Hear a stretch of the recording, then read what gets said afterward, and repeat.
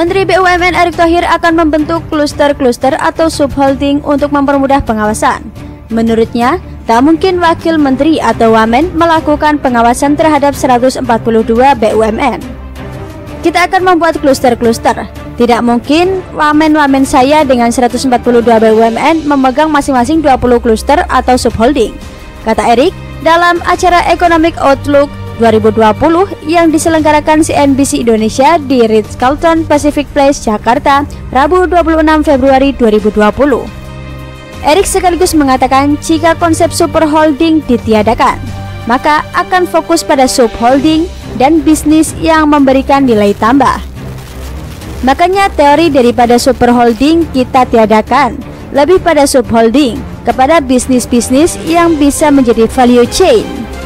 Katanya, Erik menargetkan akan membentuk subholding di bawah 20. Kemudian tiap wamen akan memegang kendali 7 atau 8 subholding. Dia menambahkan, dirinya akan membuat satu holding yang berasal dari perusahaan sekarat atau deadweight. Saya targetkan kluster ada di BUMN di bawah 20 masing-masing wamen memegang 7 sampai 8 kluster aja, ditambah satu kluster deadweight. Tutupnya. Selain itu, Menteri Erick Thohir membuka lebar-lebar peluang swasta untuk kerjasama. Namun, Erick menekankan agar swasta tak mengakali BUMN.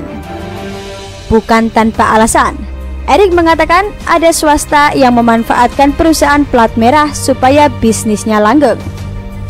Saya berharap dengan adanya reformasi BUMN, silahkan partner BUMN tapi yang baik, jangan BUMN yang diakali. Katanya dalam acara Economic Outlook 2020 yang diselenggarakan CNBC Indonesia di Ritz-Carlton Pacific Place, Jakarta, Rabu 26 Februari 2020. Ini banyak juga loh teman-teman swasta ngakali taruh orang di dalam supaya bisnisnya terus, sambungnya. Dia berharap swasta yang menempatkan orang di BUMN tak menggerogoti bisnis BUMN.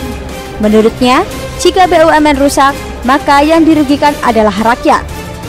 Erik pun kemudian melontarkan pesan khusus kepada founder dan chairman City Corpora, Khairul Tanjung yang hadir dalam acara tersebut.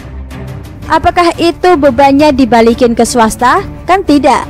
Dan ini saya berharap, mungkin mohon maaf Pak Hairul, saya ingin swasta bekerja sama dengan BUMN, tapi saya titip jangan diakali, ujarnya. Dia pun meminta agar swasta bersama-sama BUMN membangun ekosistem usaha yang baik, sehingga nantinya bisa bersaing dengan perusahaan asing. Kalau saya sudah bangun ekosistem, ayo sama-sama bersaing membangun Indonesia jadi negara maju. Kita bisa bersaing perusahaan asing. Tuturnya. Di sisi lain, Erick Thohir juga menegaskan bahwa BUMN bukan badan usaha milik nenek lu. Diberitakan dari detikfinance.com, Menteri BUMN Erick Thohir meluruskan adanya persepsi salah di mana BUMN milik Kementerian BUMN. Erick mengatakan, Kementerian BUMN ialah pengelola perusahaan BUMN. Hal itu disampaikan Erick dalam acara yang sama. BUMN ini kadang-kadang dipersepsikan juga yang salah, bahwa kita ini pemilik. Ini yang kita selalu betulkan, ujarnya. Erick menekankan, kementerian ialah pengelola. Jadi kementerian tidak bisa memperlakukan BUMN seolah milik pribadi.